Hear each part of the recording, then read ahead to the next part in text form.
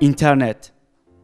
Çağımızda kullanımına göre insanlara en büyük avantaj ya da dezavantajları sunan adeta sanal bir dünya. Isparta Valiliği internetin güvenlik boyutunu, sağlık boyutunu, hukuki ve eğitim boyutunu ortaya koymak adına çocuklardan başlayarak tüm kesimlere eğitim veriyor. İnternette arkadaş olmayın, yüz yüze buluşmayın çünkü bilgisayarın diğer karşısında kim var bilemiyoruz değil mi? Bu bağlamda 15 Temmuz Cumhuriyet ve Demokrasi Meydanı'na getirilen güvenli internet merkezi ve teknoloji deneyim alanında başta öğrenciler olmak üzere toplumun her kesimine güvenli internet kullanımı ve sanal alemde gelinen son teknoloji uygulamalı olarak gösteriliyor.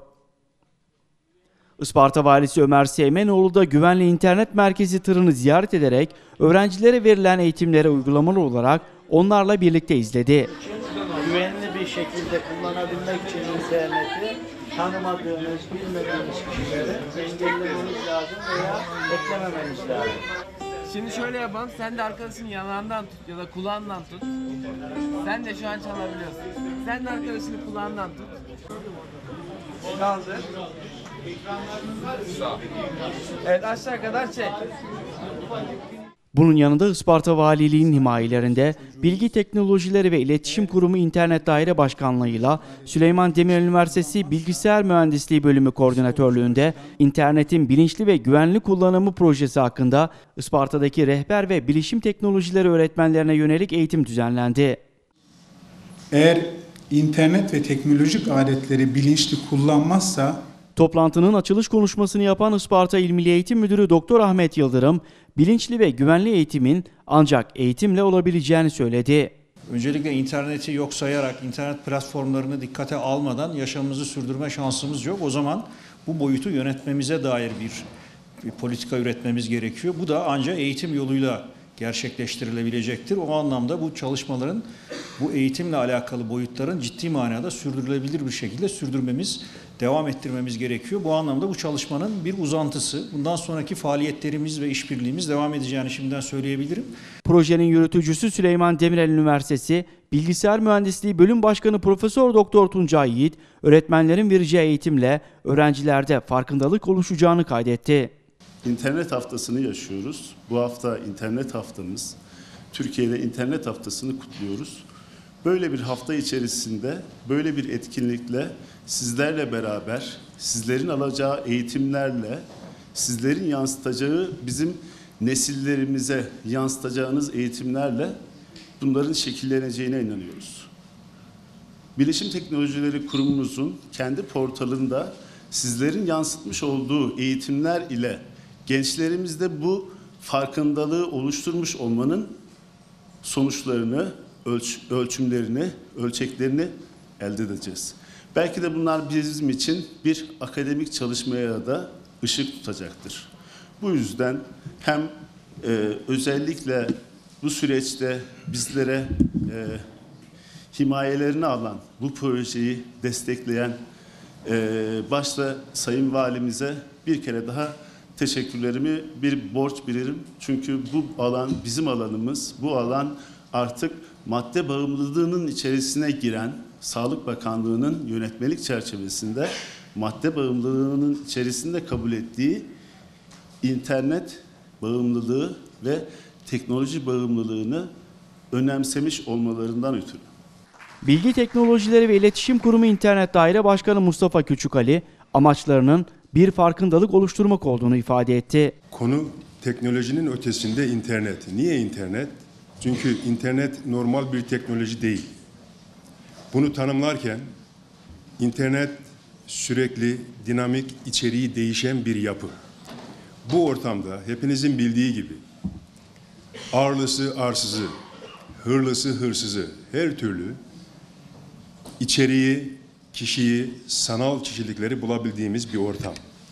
Bu ortamla ilgili biz sürekli içerik üretiyoruz. Birileri veya sürekli içerik üretiyor, biz kullanıyoruz.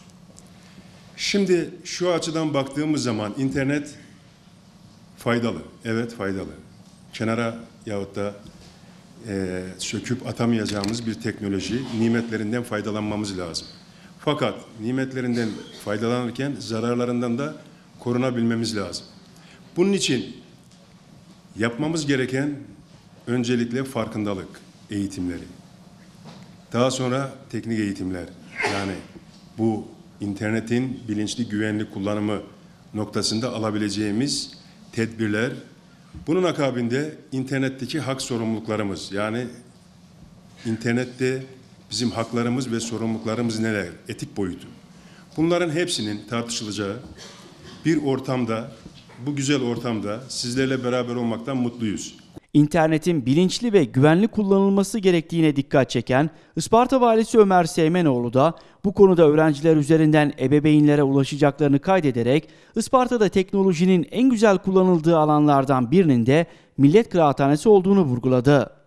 çocuklarımızın içine girerek yani onları ele geçirerek bu anlatımları onlara aktarmamız lazım ki farkına varsınlar, kalıcı olsun. Bir adım ötesinde de emin olun ki o çocuklar üzerinden ebeveynlerine ulaşmış olacağız. Bugünkü bu faaliyetimizin birinci amacı da internetin nasıl bilinçli kullanılacağı, internete ve teknolojiye güvenli bir şekilde nasıl erişileceği hususlarını konuşmak, tartışmak, çıkan sonuçları alanda uygulamak. Eminim zaten öğretmen arkadaşlarımız biraz önce Milli Eğitim İl Müdürümüzle konuşurken rehber öğretmenlerimiz ve bilişim teknolojileri öğretmenlerimizden teşekkül olduğu için bu konuları zaten bizlerden daha iyi biliyorsunuz. Konulara daha derinden vakıfsınız. Ancak uygulamada biraz sıkıntı yaşıyoruz gibi. Bunun aktarılmasında öğrencilere mutlaka okul yöneticilerin, milli eğitim yönetici, il mü- müdürlük yöneticilerin ve bizlerin de sorumlulukları ve eksikleri var. Bunları biz fark ettikçe zaten devamlı müdahale ediyoruz. Geçtiğimiz haftalarda fark ettiğinizse ilde bir millet kıraathanesi açılışı yaptık ve özellikle Milli Eğitim İl Müdürümüzden şunu istedim. Yani sadece okuma salonlarıyla burayı bırakmayalım. Teknolojiyi de buraya transfer edelim. Bazı odalarımız, salonlarımız kodlama salonu olsun, internet odaları olsun, teknolojinin nasıl kullanılacağını birebir görebileceğimiz odalar olsun. Buna yönelik de altyapısını tamamladık. İçlerinizde bulunan işte çok değerli öğretmen arkadaşlarımızın da kontrolünde, takibinde orada öğrencilerimiz, gençlerimiz bu eğitimleri e, el, ellerinden geldikçe onlara vermekte ve interneti daha bilinçli nasıl kullanabileceklerine e, izah etmekteler. Bilgisayar okur yazarlığı ve internet okur yazarlığı ülkemizde gün geçtikçe artıyor. Tabii bu okur yazarlığı artıyor. Yani eğitimini vermediğimiz takdirde interneti akılcı kullanmamız mümkün değil. Bu çalışmalar şu anda burada bugün başlattığımız çalışmalar ve öncesinde yapılmış olan çalışmalar sadece internetin ne olduğu veya bilgisayarın teknolojinin ne olduğu, bunun nasıl kullanıldığının ötesine geçiyoruz. Bunun kişilerin faydası ve ülkelerin menfaati faydası doğrultusunda nasıl kullanılması gerektiğini ortaya koymaya çalışıyoruz. Bu çünkü toplantımızın, bu eğitim çalışmamızın en önemli çıktısı mutlaka alanda bu olacak. Vali Seymenoğlu internet kullanıcılarını önümüzdeki yıllarda ilgilendirecek en büyük konunun hukuki boyutu olduğunu belirterek internetin güvenlik, sağlık ve eğitim boyutunu ele alarak teknoloji bağımlılığı konusunda tüm kamu kurum ve kuruluşları olarak projeye destek verdiklerini kaydetti. İnternette hak ve sorumluluklar başlığıyla bir hukuki boyut koymuş arkadaşlar. Bu emin olun ki önümüzdeki yıllarda ülke olarak, internet kullanıcıları olarak karşımıza çıkabilecek en önemli ve en özel konulardan birisi. Çünkü interneti birilerinin hakkına tecavüz ederek kullandığımız takdirde, telif haklarına tecavüz ederek kullandığımız takdirde hukuki davalarla karşılaşacağımızın bilincinde olmamız lazım. Diğer bir başlığımız internet ve bilgi güvenliği.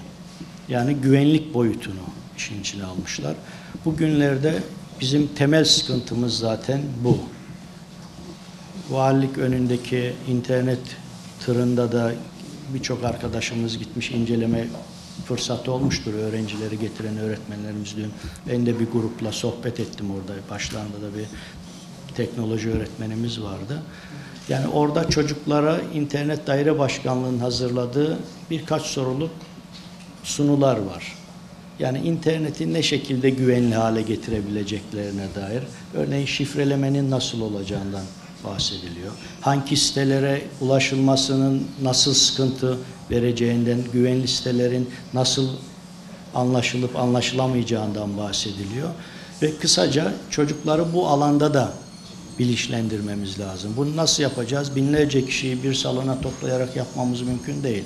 Bugünkü yapacağımız bu uygulama şeklinde eğiticilerin eğitimini yaparak o arkadaşlarımızın alanda diğer eğitimleri yapmasına fırsat vereceğiz. Ve bunda da başarılı olacağımıza inanıyorum arkadaşlar. Diğer bir boyutu sağlık boyutu. Saatlerce eğlence anlamında internette, bilgisayarda vakit geçiren bir toplum olduysa bunun sağlık yönünde çok detaylı, çok titiz bir şekilde ele almamız, çalışmamız lazım. Ve özellikle de ruh sağlığı yönüne dikkat etmemiz lazım. Şudur, işiniz gereği saatlerce bilgisayarın başında olmak zorundasınız. İşte bu akıllı kullanım dediğimiz bu. İşiniz gereği kullanıyorsak, bilinçli kullanıyorsak saatler boyunca nasıl bürolarda, ofislerde, masa başında vakit geçiriyor, ıslak imzayla evrak hazırlıyorsak bir iş ortamında internet ve bilgisayar gerekliyse tabii ki o çalışanlarımız saatlerce o bilgisayarın başında vakit geçirmek zorunda. Ama işi o değilse ve saatlerce sosyal medyada, eğlence sektöründe, internette zaman geçiriyorsak bunu kesinlikle bir sağlık boyutu vardır ki arkadaşlarımız bunu tespit etmiş. O başlıkta da bir eğitim sunuşu hazırlamışlar. Diğer bir e, hususla dördüncü boyutu da eğitim boyutu. Küçük yaşlarda başladığımız takdirde bu çocukların eğitimine ilerleyen yaşlarda interneti, teknolojiyi daha akılcı, daha bilinçli, daha güvenli kullanabildiklerini görüyoruz. Bunu bilimsel çalışmalar gösteriyor. Onun için bizler bunu ana sınıfından, ilkokullardan ve yukarıya doğru e, gittikçe artan tempolarla bu eğitimi yapmak için bir gayret içerisinde bulunuyoruz. Yine biraz önce konuşmacı arkadaşlarımız e, il valiliği olarak bunu desteklediğimizden bahsettiler bu çalışmaları. Elbette bu bizim asli görevimiz. Bağımlılıkla mücadele etmek bu devleti yöneten herkesin asli görevi arkadaşlar. Bu sadece il valisi olarak benim görevim değil. Bu işte Gençlik Spor İl Müdürümüzün de görevi projede yer alıyor. Sağlık İl Müdürümüzün de görevi projede yer alıyor. Milli Eğitim Müdürümüzün de görevi projede yer alıyor.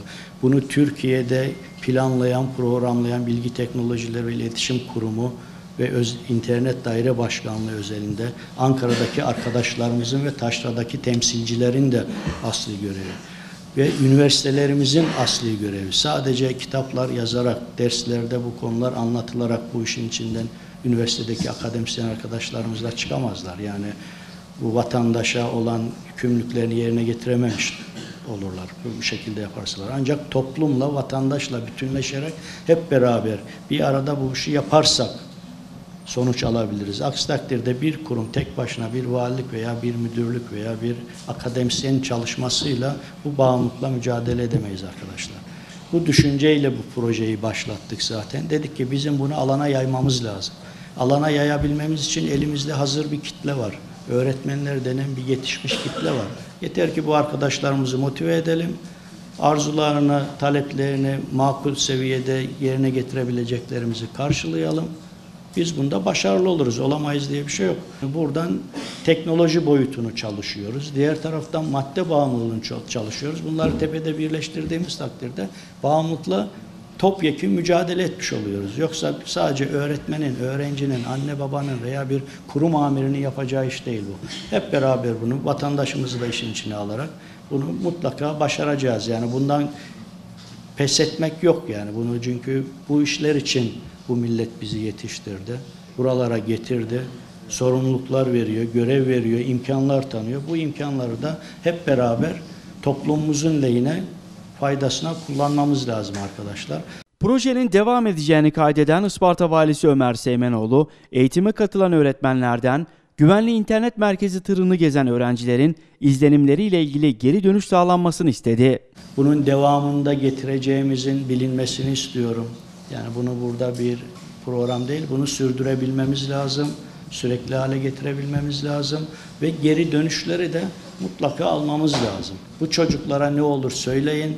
Tırda yaşadıklarına ilişkin beklentilerini, umduklarını, bulduklarını, bulamadıklarını daire başkanımız burada biraz önce kendisine de söyledim. En azından internet üzerinden bir geri dönüş yapsınlar. Alanda nasıl yansıyor? Öğrencilere bir faydası oldu mu? Ebeveynlere ulaşabildik mi? Bunları da hep geri dönüş olarak mutlaka almamız lazım. Milli Eğitim İl Müdürlüğümüzle beraber. Bir kişiyi bile bağımlılıktan alıkoyabilirsek ne mutlu bize diyorum. Yani hedefimiz onlarca, yüzlerce, binlerce kişi olmalı mutlaka. Ama bir kişiyi bile gerek teknolojiden, gerek madde bağımlılığından alıkoyabiliyorsak ne mutlu bize diyorum. Başarılı olmuş sayıyoruz kendimizi. Çünkü o bir kişi çok önemli ve çok özel. Toplantı, Bilgi Teknolojileri Kurumu, bilişim uzmanı Doktor Şahin Bayzan tarafından internette hak ve sorumluluklar konulu eğitimle devam etti. İnsanları sokaklara dökebilecek verileri bu ortamlarda çok iyi elde edebiliyorlar. Hangi ülkenin sinir uçlarına dokunursam ben istediğim sonucu elde ederimi çok iyi biliyorlar. Bunu gençlerimizin, çocuklarımızın bilmesi gerekiyor. Bu da bunu bizim bilmemizden geçiyor. Sizlerin bilmesinden geçiyor. Bu farkındalığı, bu kültürü çocuklarımıza vermekten geçiyor. Anne babalara, ebeveynlere bu durumun ciddiyetini, önemini anlatmaktan geçiyor. Eğer biz bunu yapmazsak yarın keşke lüksümüz, şansımız yok. Keşke olmasaydı deme lüksümüz yok. O gemi, o fırsatı kaçırmamamız lazım. Harita bu şekilde.